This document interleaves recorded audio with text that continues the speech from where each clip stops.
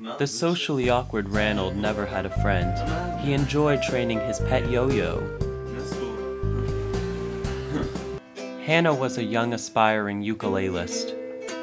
Although she wasn't that good, her ukulele was her only friend.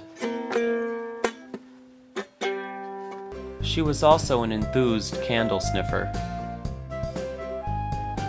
The day Ranald and Hannah met was a major milestone that began their friendship.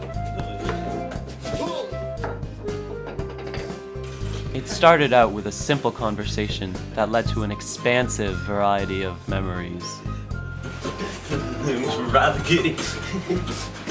Ranald and Hannah started doing everything together. They played patty cake, Yeah, as fast as you can.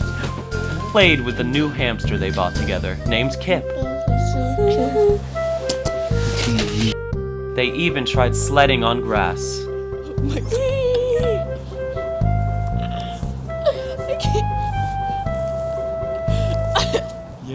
Until the day Hannah was offered a ukulele scholarship to a school in New York City. When she told Ranald she was going to leave, he didn't take it so well.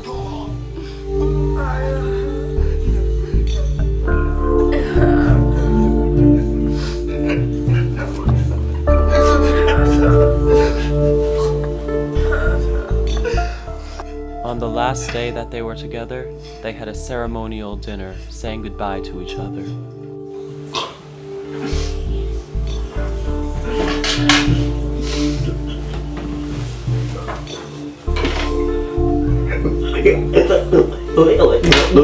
They embraced each other with a tender hug as they said their last goodbyes.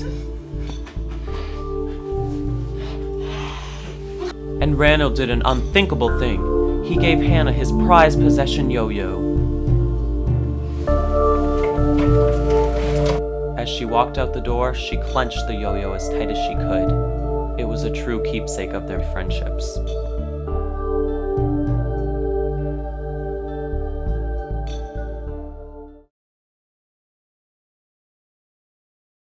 When Ranald was looking at the daily magazine, he saw that Hannah was the headlining story.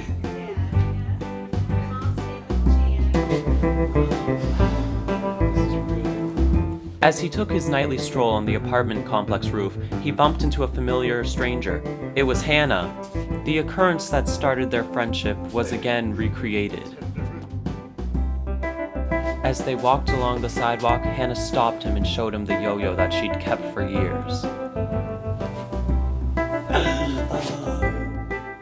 Friends forever.